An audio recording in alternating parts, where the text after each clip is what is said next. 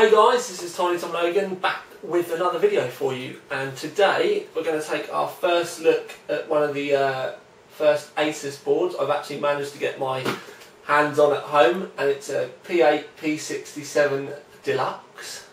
Uh, a lot of you moan that I spend too much time on the box and stuff like that but it's a new product so I am going to spend a little bit of time on it.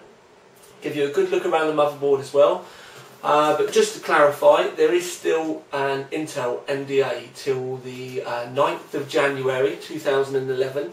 Uh, so I'm not allowed to take the heatsink off. Uh, I'm not allowed to show you inside the CPU socket. Do you know what I mean? There's there's a few things that I can and can't do. So please bear with us. We're just trying to bring you um, as much of this new technology as we can as early as we can, but staying within the borders that keep us out of court. So I'm going to be quiet, I'm going to bring the camera right in and yeah, you're not going to have to see my ugly mug for a little bit. Right then guys, this is our first good look at uh, one of the uh, new Asus P67 boards which are officially getting uh, released to all you lucky punters uh, in 2011.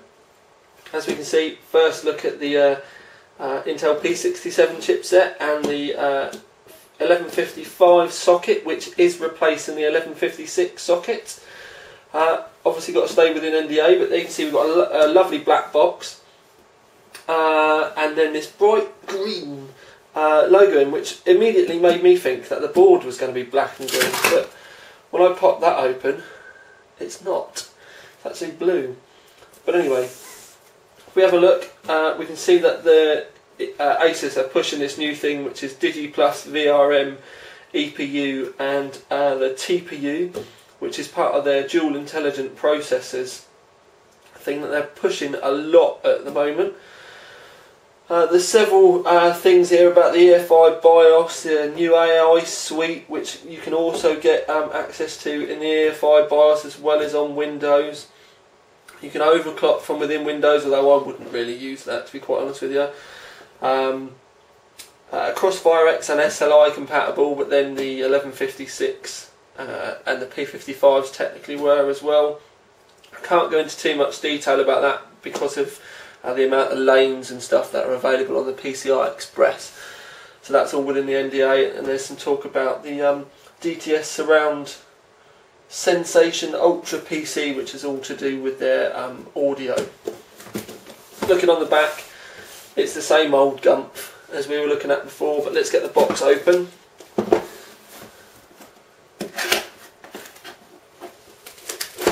Now, when we take the board out the way, we'll look at that in more depth in a moment. We can see we've got the usual um, I.O. plate for the back. We've got some SATA 6 connectors. I can tell they're SATA 6 because they're the white Asus ones. Then you've got your normal kind of quick connect fittings. That's an SLI bridge. More SATA connectors, yada yada yada. Driver disc and a sticker, a couple of guides. But this is quite interesting. Um, it's nice to see that they've actually bundled this with the board as well. We did see it while we were away. But basically, I want to bring it in so that the camera can see. It's a three and a half inch drive bay with two USB 3 slots, but it's got the onboard SATA 3 connector on it. So if you haven't got um, a USB 3 case, you can still have this showing at the front. So all lovely, lovely. Now the bit that most of you have probably been skipping to try and find the actual board itself. Now if I get it on the camera, right, what I'm going to do now um, is uh, pop you off. In fact, I might try and zoom you in, let's have a look. And then I'll move the board about. We will experiment together. There you can see the uh, top half of the board. I actually quite like these uh, new heat sinks that Asus have brought in. Uh, as this is the first time that I've had to do this for you in this way, I'll try and do it so the camera's still and I just move the board. But you can see those new heat sinks.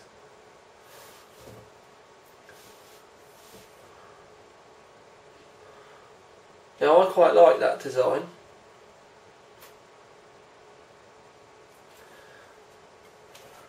We have a look there, you can see the uh, large Southbridge heatsink. I'm going to pull this protective plastic off. The next reviewer can pretend it was there. And then we can have a look at the uh,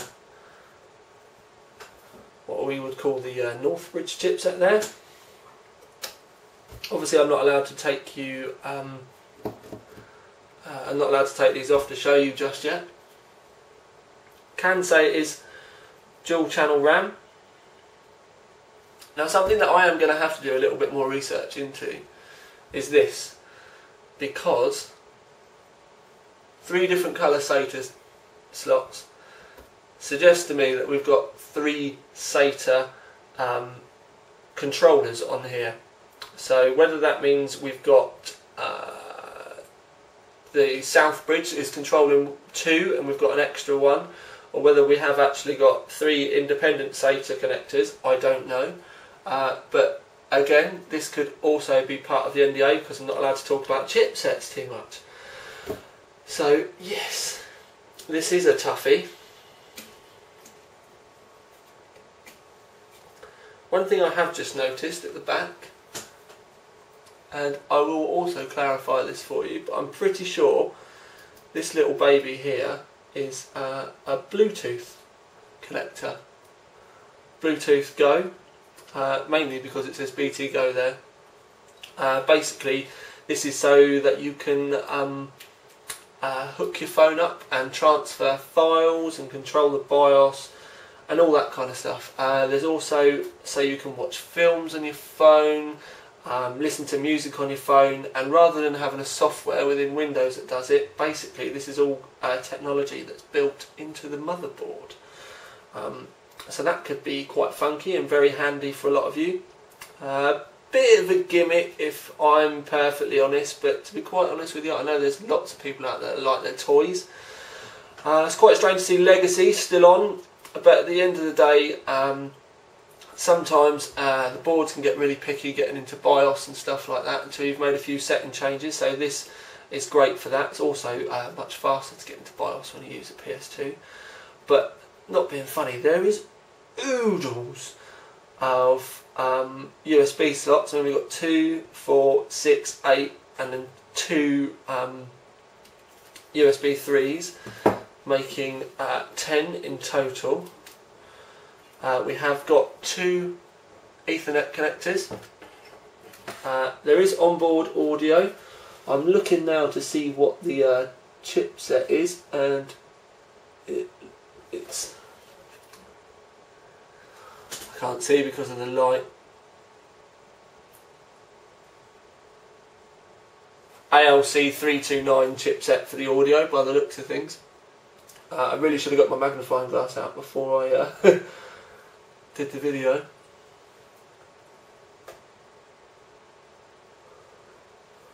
But there's an awful lot crammed onto this board really when you think about it. The fact that we've got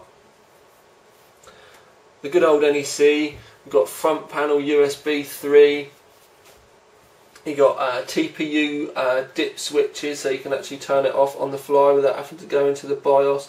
You've got an EPU dip switch here power and reset switches, LCD posters. Uh, when you're overclocking, these are immensely handy uh, because if you get a freeze, as in not that it stops on a number, but if the uh, system actually completely freezes and locks up, whatever this uh, code links to basically tells you where the problem is. It's a great way of fault finding. Uh, for a beginner, you you will have to kind of experiment. For all of you out there that have been uh, and know about these, are going to be, do you know what I mean? Being able to see it is brilliant. Um, there is a PLX chip here as well, which I've just noticed, which is rather interesting. But yeah, there's lots of talk about the digital VRMs and the, the power delivery to the CPU socket itself.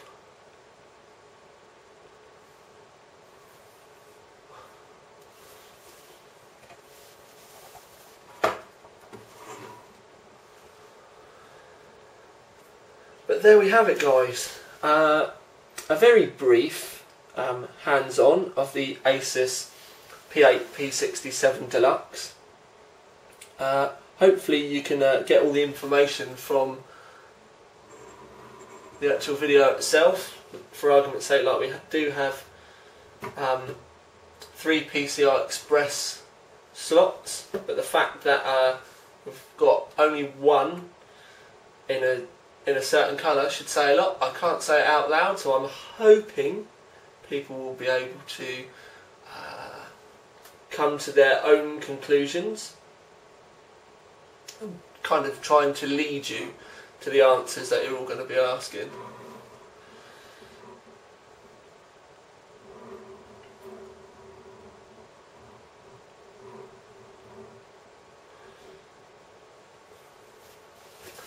Very good looking board nonetheless. I'm actually quite impressed with the, the looks. I do think uh, initially that the uh, RAM slots could have been moved slightly closer to the outside of the board. There does, I think they could have probably uh, put the, all of these, uh, located these a lot better and moved the RAM away. Because at the end of the day, we do like a bit of clearance around the CPU socket, and the further that the RAM is away, the better chance that we've got of being able to use massive heat sinks with some of the larger RAM. Although I'm a complete Mushkin convert now, um, it Mushkin fits under every heatsink, so to be quite honest with you, that's really not an issue for me, but I know it will be for a lot of you.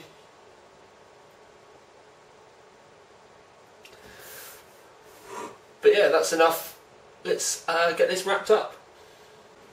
Right then guys and girls, uh, that's our first look at the Asus P8 P67 uh, Deluxe board.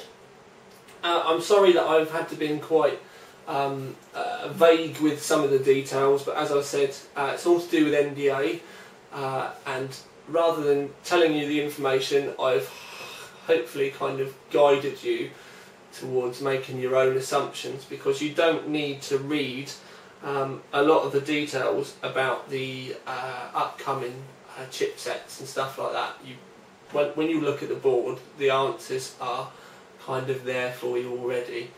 Um, all I will say is uh, colours tell a lot of uh, a much bigger story than you could possibly believe. Um, but a great looking board from Asus. I'm certainly looking forward to seeing uh, what the competition have to offer as well. Um, I can say for you now, for definite, keep an eye on the channel because I have got a lot more um, of the new 1155 stuff coming for previews and stuff like that. Uh, January is going to be an incredibly busy month for all review sites. Um, I've yeah the the amount of the workload and the diary at the moment for us at Overclock 3D for January is completely crackers. Uh, so uh, 2011 is going to be a busy, busy and hopefully very prosperous year for us all. But I'm going to love you and leave you on this rather dreary and drab Sunday afternoon. Uh, get this video rendered and get it uploaded for you all to have a look at. Um, also keep an eye out because I'm hoping, as long as I get time today, to get you a subscriber video uploaded because I've got some little bits and bobs. The only reason why I can't do it straight away is because my room is a complete tip. Uh, the office, if I can, I'm not sure whether, no. Um, the office is a bomb site, right? This week has been so busy. But I'll shut up because this is a video about this. Uh, loving the look of this, uh, really looking forward to working with it, uh, and I'm really looking forward to sharing uh, all the rest of the information with you about this when I'm allowed to as well. So, for now at least, this is Tiny Tom Logan with his first hands-on look that he's been able to share with you, wink wink, uh, of the Asus P8 P67 Deluxe.